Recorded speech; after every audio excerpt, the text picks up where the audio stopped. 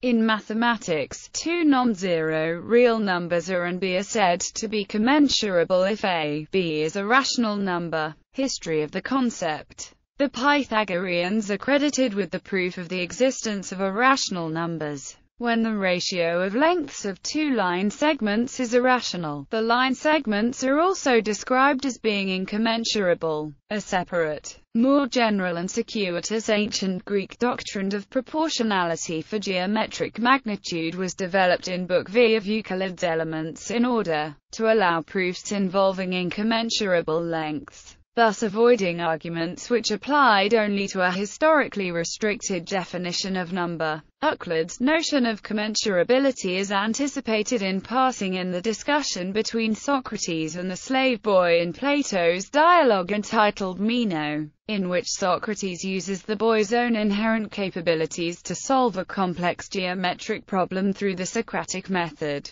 he develops a proof which is, for all intents and purposes, very Euclidean in nature and speaks to the concept of incommensurability. The usage primarily comes to us from translations of Euclid's Elements in which two line segments A and B are called commensurable precisely if there is some third segment C that can be laid end to end a whole number of times to produce a segment congruent to A, and also, with a different whole number, a segment congruent to B. Euclid did not use any concept of real number, but he used a notion of congruence of line segments and of one such segment being longer or shorter than another. That a, b is rational is a necessary and sufficient condition for the existence of some real number c, and integers m and n, such that a equals mc and b equals nc. Assuming for simplicity that a and b are positive, one can say that a ruler, marked off in units of length c, could be used to measure out both a line segment of length a, and one of length b.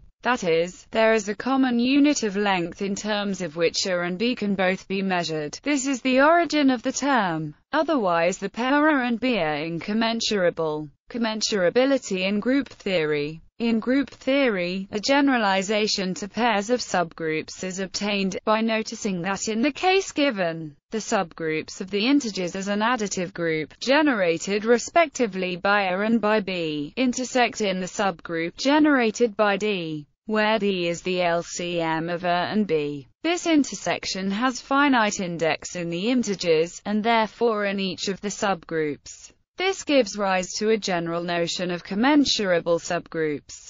Two subgroups A and B of a group are commensurable when their intersection has finite index in each of them. That is, Two subgroups H1 and H2 of a group G are commensurable if the relation of being commensurable in the wide sense is that H1 be commensurable with her conjugate of H2. Some authors use the terms commensurate and commensurable for commensurable and widely commensurable respectively. A relationship can similarly be defined on subspaces of a vector space, in terms of projections that have finite-dimensional kernel and co-kernel. In contrast, two subspaces and that are given by some moduli space stacks over a Lie algebra are not necessarily commensurable if they are described by infinite dimensional representations. In addition, if the completions of type modules corresponding to an are not well defined, then an are also not commensurable. In topology, two topological spaces are commensurable if they have homeomorphic finite sheeted covering spaces.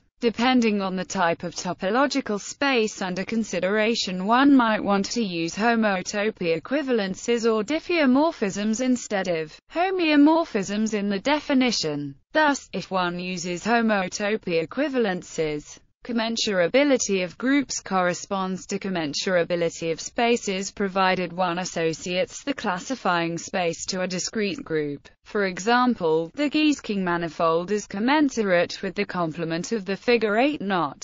In physics, in physics, the terms commensurable and incommensurable are used in the same way as in mathematics. The two rational numbers A and B usually refer to periods of two distinct, but connected physical properties of the considered material, such as the crystal structure and the magnetic superstructure. The potential richness of physical phenomena related to this concept is exemplified in the Devil's Staircase.